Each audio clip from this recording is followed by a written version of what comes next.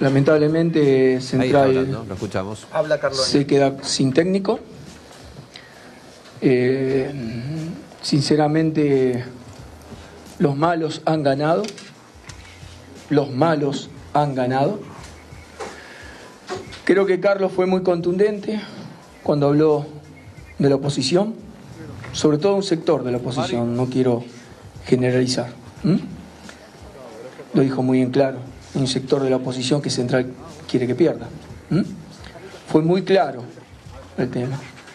También fue muy claro con uno de los candidatos que en una nota lo ningunea a nuestro DT, un DT ganador, porque ese candidato no ganó nada, que yo sepa. ¿eh? Un candidato totalmente ganador, que venía trabajando seriamente, que venía haciendo un gran trabajo y que le faltó hasta el respeto. La verdad que Carlos mostró mucho respeto hacia esa persona,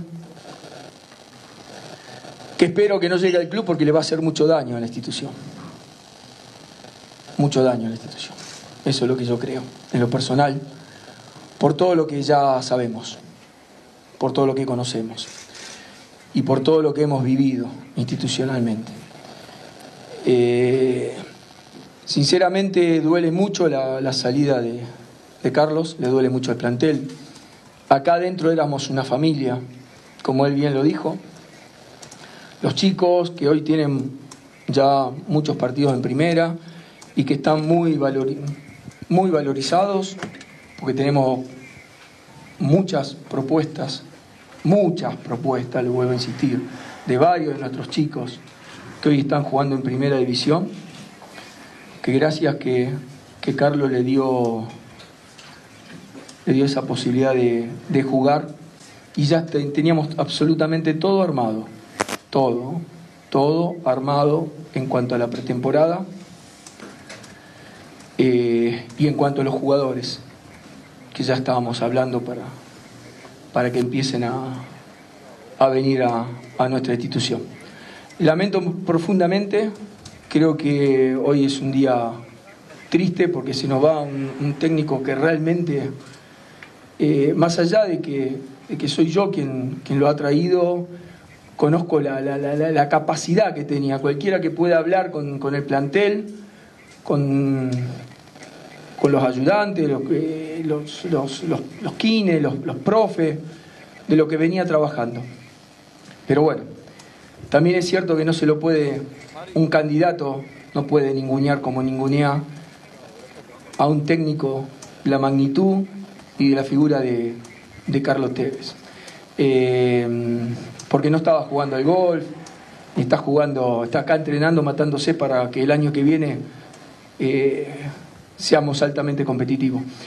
Pero no solamente por eso, sino seguramente hay otras cosas que se han hecho y cuando hablan que, que ese sector de la oposición quiere que pierda Central, ¿no? Hay muchas cosas que sucedieron que son bastante, bastante graves. Así que lamento eh, profundamente, espero que ya ese candidato de la oposición que ya ganó, que me deje de mandar los soldaditos para que me sigan amenazando y para que me quieran agredir en la calle. Espero que ya lo deje hacer. ¿Mm? Espero que deje hacer eso, que mande a sus soldaditos a, a generar violencia con mi familia y con mi persona. Eh, y espero que trate de restituir, si va a estar en el club, la relación con AFA y con Mebol, que es muy mala la que tiene, con ambas entidades, con ambas entidades. ¿Mm? Así que estoy para las preguntas que quieran, muchachos. Ricardo, estamos en, en vivo. Por la duda, si tienen duda, el que me refiero es a Gonzalo Belloso, ¿eh? así con nombre y apellido. Ahora, Ricardo, recién decías la que conferencia de prensa del presidente. este candidato ya ganó. ¿Por qué ya ganó? Digo, con el objetivo, ¿cuál sería ese de ya ganó? ¿Y cómo va a ser de aquí en más el proceso de elecciones de Rosario Central? Digo, ¿se vota finalmente No, el no, sí, 18? fue, fue en la parte final. ¿Van a ir Gonzalo todas estas cinco lo listas a las elecciones, Ricardo? Lo que digo que ya ganó es porque ya no está más Carlos Tevez. si lo viene diciendo a todos lados que su técnico es eh, ruso. Y lo ninguneó y lo vive ninguneando a, a un técnico de la calidad de lo que viene trabajando. Y claramente Carlos Tevez dijo que le extrañaba a alguien que ha jugado el fútbol que tenga esos códigos. Porque los códigos a veces son de puerta para adentro, no para hacia afuera. Lo dijo muy claro, Carlos. A ver, las cosas las dijo muy clara. ¿ah? No sé si alguien tiene duda de todo lo que dijo y lo que todo y lo que trató de decir. Creo que lo muy claro fue. ¿eh? Yo, lo, yo lo clarifico mucho más. Yo estoy haciendo la complementación de lo que él dijo. ¿eh? Porque yo soy de la ciudad, Carlos no es de la ciudad, lógicamente. Yo soy de la ciudad. Y yo lo, estoy compareciendo, como estoy compareciendo seguramente a, muchos de nuestros compañeros que se han, se han ido a listas de la, de la, oposición. Así saben, cómo, saben lo difícil que es gestionar a partir de que tomé la, la responsabilidad de ser presidente. Es muy difícil, con la incertidumbre de no saber si hay un día elecciones, otro día elecciones. Lo, que hizo la IGPJ es, es desastroso. Desastroso. Y tiene responsabilidad el gobernador Omar Perotti también acá, ¿ah? porque no le vamos a sacar las, las responsabilidades también. Es el club más grande del interior del país. Lo que se hizo fue un total manoseo. A ver si estamos claros, si hablamos claro de una vez.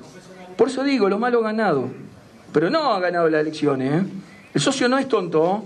Hay un socio callado. Hay un socio que quiere votar. No tengo la menor duda. Y hay un socio que no quiere violencia. Las que demuestran estos muchachos y sus soldaditos. ¿Las elecciones están garantizadas el 18 de diciembre? las elecciones están al día de hoy, al 18 de diciembre. Después hay muchos rumores. La realidad es, si Argentina llega al final del Mundial, yo sé muy bien que la Secretaría, el Ministerio de la Secretaría de Seguridad Social, eh, la Seguridad, ha dicho que no se puede garantizar la seguridad. Y la han puesto en la final del Mundial. La han puesto en una fecha en donde realmente tenemos que hablar de, pase, de mercado de pase, de, de jugadores que quedan libres, de acciones que tiene que tomar el club. Lo que ha hecho la IGPJ es un daño a la institución. Eso es lo que ha hecho en poner la elección el 18 de diciembre. Y acá está, este es uno de los resultados. Seguramente vienen otros más también. Seguramente van a venir otros más.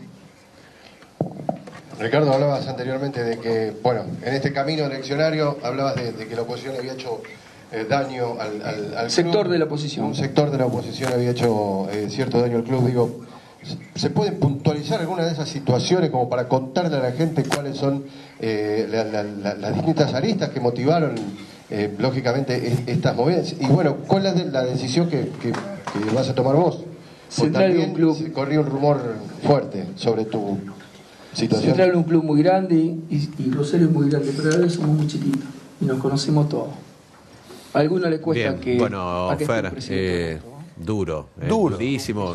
Si, si, Tevez había estado duro, eh, ni que hablar ahora Carloni, yendo incluso hasta el propio gobernador de, la provincia, no se salvó nadie en el discurso. Visiblemente enojado, molesto, tenso, tratando de acomodarse a la conferencia de prensa que, comenzó, primero utilizando los dichos de Tevez y, y, ahí, si se quiere, dándole la razón al propio entrenador, esto de la utilización de su nombre en tono político, y después, por supuesto, poniendo el foco en Gonzalo Belloso como lo hizo siempre Carloni, ¿no? A sabiendas de ser uno de los candidatos más fuertes por nombre, por reconocimiento, por su paso también como dirigente de la Conmebol, eh, por su pasado también eh, a nivel dirigencial eh, como director deportivo en la institución canalla, siempre apuntó los cañones ahí Ricardo Carloni, jugando también su juego en esta instancia preelectoral del 18 de diciembre. Pero luego abriendo el panorama e incluso buscando también al gobernador Perotti y a la Inspección General de Personas Jurídicas como responsable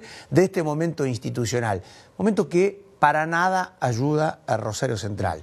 Eh, decía Fer, perdón, decía recién Carloni, eh, los malos han ganado. Yo no sé quiénes son los malos ni quiénes son los buenos, pero tengo la certeza que el que perdió y el que pierde con todo esto es central. de eso no hay ninguna duda. Pero sin duda, ya viene perdiendo con el traslado de las elecciones, con la incertidumbre. A ver, recordamos que quedan muy pocos miembros de esta comisión directiva actual, de aquellos que comenzaron. Digo, ya eh, tuvo una depuración la comisión directiva que, que ganó en su momento en el acto eleccionario anterior. Ya viene perdiendo central y esto se ve en la cancha. Porque se traslada obviamente a lo deportivo, cambio de entrenadores, no hay un sustento de un proyecto en líneas generales, tan difícil es hablar de proyectos y después de continuar en el fútbol argentino, imagínese en un club con esta instancia eh, eh, institucional. Carloni sigue hablando, sigue muy enojado y sigue repartiendo, en este caso a diestra y siniestra, no solamente para Belloso, para Perotti, sino también para el resto de las agrupaciones opositoras, entendiendo que han sido funcionales al otro eh, candidato, al que primero apuntó que fue Gonzalo Belloso, con los dichos para con el entrenador. Vamos a escuchar otro fragmento de Carloni, a ver qué dice. Pícaro, insultándome, parándome el auto, rompiéndome el auto, pateándome el auto, o tirándome el auto en la autopista eh, para que tenga un accidente. Porque la verdad que, sinceramente, sinceramente, si me quieren ver muerto, fácil. Yo camino a las calles siempre, vengan y me pegan un tiro. ¿Cuál es el problema? Péguenme un tiro. Así de fácil. ¿No te parece esto? Si soy una persona que camino en las calles, yo camino, los predios los camino continuamente, con el socio hablo continuamente. ¿eh?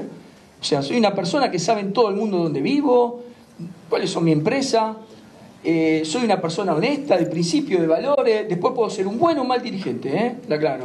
Puedo ser para algunos pésimo dirigente, para otros muy bueno, pero en definitiva es fácil. Si me, quieren tirar los autos, me quieren, me, viven haciendo daño, me viven escribiendo en, mis empresas, me viven tirando cosas en, en, que, la claro, ya no vivo más en esa dirección donde me, me viven haciendo eh, cosas porque ya... Pero hablas de hostigamiento por parte de esta gente, ¿por qué no denunciarlos entonces en la justicia? Porque estás, ya tengo el nombre, diciendo que tengo el nombre, vos y tu familia. Lo que pasa es que estamos buscando los nombres, ya tengo el nombre de una persona. Yo tengo que buscar porque yo no puedo denunciar si no tengo los nombres y apellidos. ¿eh? Lo segundo es si te vas a presentar igual ante esta situación que estás atravesando a elecciones.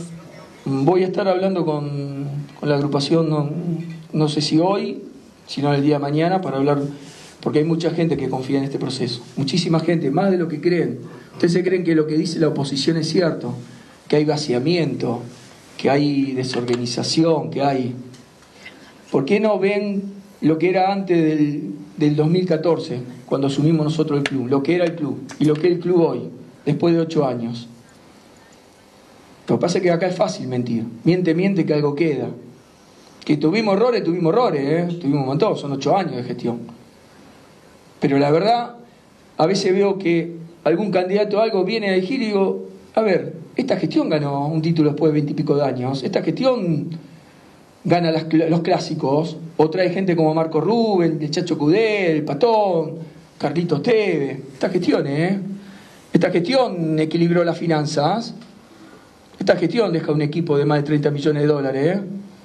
Esta gestión trabajó en la inferiores cuando nos devastaban y nos decían cosas de la inferiores, toda mentira. Llega un momento que, cansa, que cansa, que cansa porque son mentirosos. Mentiroso. Belloso es mentiroso. Es un mentiroso. Y eso cansa. Eso cansa. Pero a mí no me afecta. ¿ah? A mí me puede seguir haciendo daño. Yo no tengo problema. Yo carácter tengo. Pero la verdad que lo que han hecho el, último tiempo es no querer a la institución. Como también hay compañeros, y vuelvo a insistir, compañeros de gestión que han ido a, listas de, la oposición. Cinco listas. Cinco listas, muchachos. No nos podemos poner de acuerdo.